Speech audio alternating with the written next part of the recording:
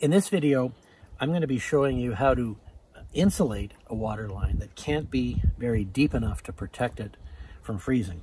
So here we have a situation here. There's a little bit of a trench. There's not a whole lot more soil here before we get to bedrock. So it's kind of a classic cottage country situation. We're going to be using a cable to heat that water line. There's a cable here. And um, the interesting thing about it is we're going to be taping it to the outside of the water line, and then we're going to be encasing the whole thing in an insulating sleeve, and then putting this PVC pipe over everything to protect the insulation mechanically and also to stop it from getting waterlogged.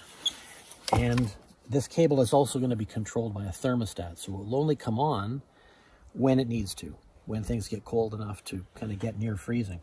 In addition to that, this cable is, is kind of unique in that it has the ability to put out different amounts of heat depending on the temperature at that spot. So, so theoretically, if this area of the cable were a little bit deeper, say, and it didn't get as cold as the higher stuff, um, this area, which is closer to the surface and, and gets cold more easily, would put out more heat in this zone rather than this zone. So it's pretty smart cable as it goes. Now the cable can't completely shut itself off though. So in the summertime when there's no danger of freezing, it would still be using some electricity. So that's why we're gonna couple the installation with a thermostat that has a probe that goes right next to the pipe and controls the flow of current to the system. Um, so what we're going to do now is we're going to actually start applying this cable to the outside of this inch and a quarter water line. And we're going to do that with some aluminum tape, as you'll see right now. Here we are inside the building where this water line is going to go. Inch and a quarter pipe is coming up through. There's lots of extra here for making the connections to the internal water system. And this is the end of that heating cable I was telling you about. We've, we've applied it to the outside of the pipe with some pretty thick, heavy-duty aluminum tape.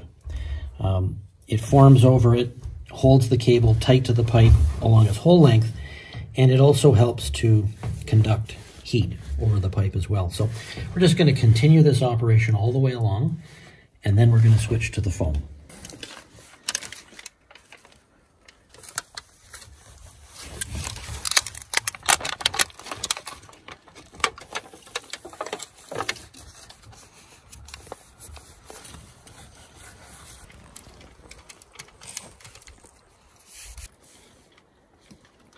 So we've got the pipe insulation on here and it's going right up into the building where it's going to be heated. This will all be encased in, in protective pipe later on, but I wanted you to see how this works and how the how the foam insulation goes on, on top of the pipe. There's this uh, self-adhesive strips that you pull off and it seals together and it's going to be encased too in some pipe, as I said, to protect it, keep it from getting chewed on by mice and, and deteriorating. So that's the, uh, the insulation step right there.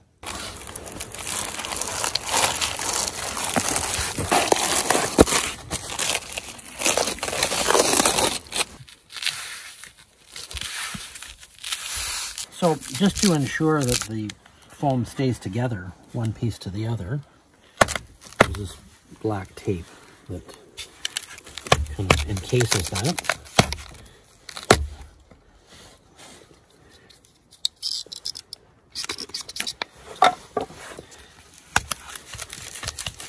And if you have, see along here we've got a bend and that can tend to make the seams open up a bit. Not that it matters a lot long term because we're going to be putting the PVC over top of everything, but probably not a good idea, or probably is a good idea to just make sure this stays shut.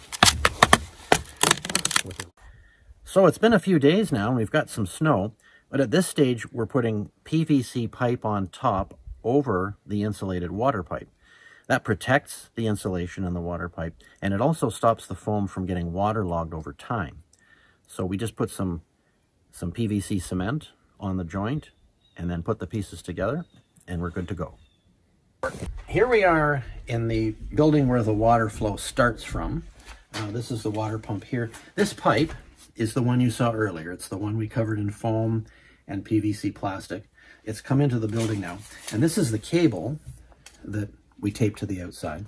Once you get inside the building, the cable doesn't need to be fastened to the pipe. It doesn't need to heat the pipe anymore because now we're in a space that will be heated eventually. So we're coming to the end of the installation and the heating cable plugs into this thermostat here. The thermostat has a temperature probe on the end. This probe and the cable you see here follows the water pipe out and it actually gets installed inside the PVC within the insulation that's surrounding the pipe. And that feeds information back to the thermostat, telling it to turn on or off accordingly. So the system works. It's really quite simple. Just, uh, just plugs in here like this. And then the thermostat will turn the cable on when heat is necessary and shut it off again when heat is not necessary.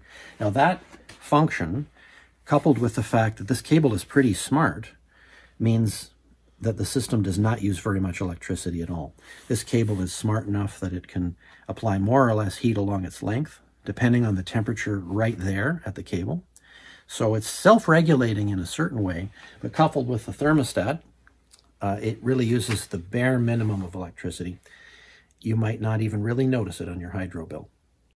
So some time has passed and we've got the water line actually installed here. And I just want to show you one little trick. It's very useful for bringing a water line up into a building that's raised off the ground. This is a toilet flange. So normally this would be connected to drain pipes. The toilet would bolt to it. But it makes a perfect situation, perfect setup uh, for neatly having that pipe come in. Uh, it fastens, in this case, to this little raised box. It can also fasten directly to the floor if you want to do that. And it just gives you a nice, nice neat place for the pipe to come up. And here you can, you can see that smart heating cable.